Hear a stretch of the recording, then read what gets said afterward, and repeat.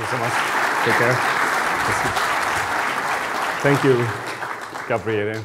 Uh, also, thank you, Ken. Um, we've been enjoying great support and obviously been delighted to follow our interests and work together. Uh, also wanted to thank our other supporters, NVIDIA, Hewlett Packard have been amazing. Um, we've been here last year uh, showing our Baku showcase project, and it's been a very busy year, I think, for all of us. Um, so what we're going to do today is going to go into the microscopic of our design process, and hopefully Ken's mother is wrong. Um, so um, if I could do this, and then uh, just give you a few words um, about Zaha Hadid Architects um, and what we do as a group. Uh, so we have several uh, research uh, entities within our company that uh, look at computational uh, design say tools and developing systems for our design process. We, as Hadid Architects, VR group, look at understanding the real real-time immersive virtual domain and all its varied applications and benefits for our design work and our industry as a whole. So now what we want to do today is to show you how we envisage and also work together with Gabriele and his team to how we can uh, in, in immerse ourselves into the design space and benefit from VR and the immediacy, the dimensionality, and the sense of presence that we get from within VR instead of looking at our conventional hardware interfaces. So um, that brings us then to Mindesk. I met Gabriele two and a half years ago, um, and I immediately got convinced about his vision of creating a VR plugin for Rhino 3D, which is one of our main software platforms within the company, uh, which is also linked to our parametric design tools via Grasshopper. So it has been hugely interesting for us to also not having to change our skill set. We have that already in our staff and also our talented designers that I will introduce you shortly.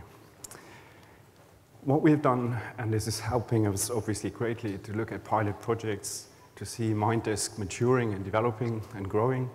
And we have engaged with the help of our client L Acoustics, who is a specialist and world leader in uh, audio design systems, to create a pilot project, which is the loop.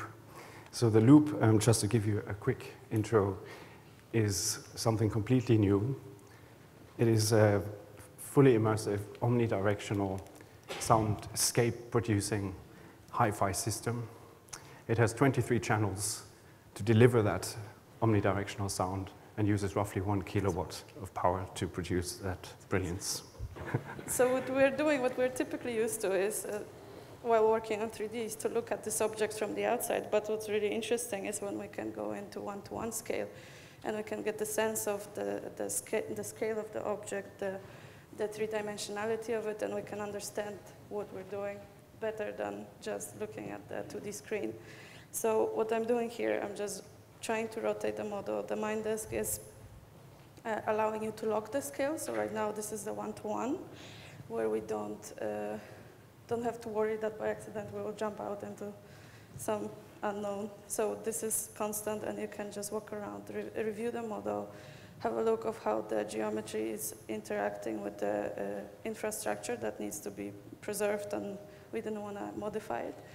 We can also teleport uh, to, to bypass the bigger distances. And uh, what I'm focusing on here was to uh, designed the cover for that subwoofer speaker. And as I would do in Rhino, I would uh, select the loft command and then select the curves I want to loft and create the surface in between. And then what we saw is that in the resulting surface is colliding with the, with the infrastructure. So to resolve that problem, we can just do it directly on the spot by just changing the uh, manipulating the control points of the surface until, the, until we can resolve the clash. There was some problem with that. And, and I think what we have to clearly say, you are suffering the problem that you see it in a projection in the old ways. If you're inside the, the 3D space, obviously, then it is a completely different. ball game. You know?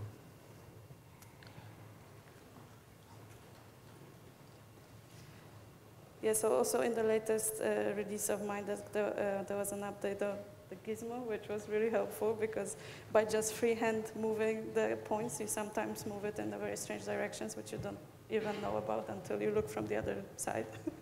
so it's really helpful to have arrows and that snap to certain planes where you can control how you move the points.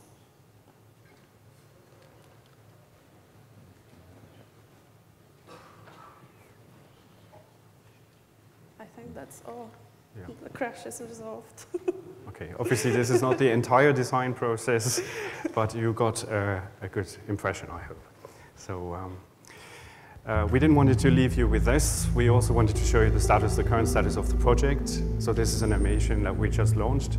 Um, it was produced with our partners Line Creative using Unreal Engine, and this is uh, obviously a pre-rendered animation. So you can see the final status.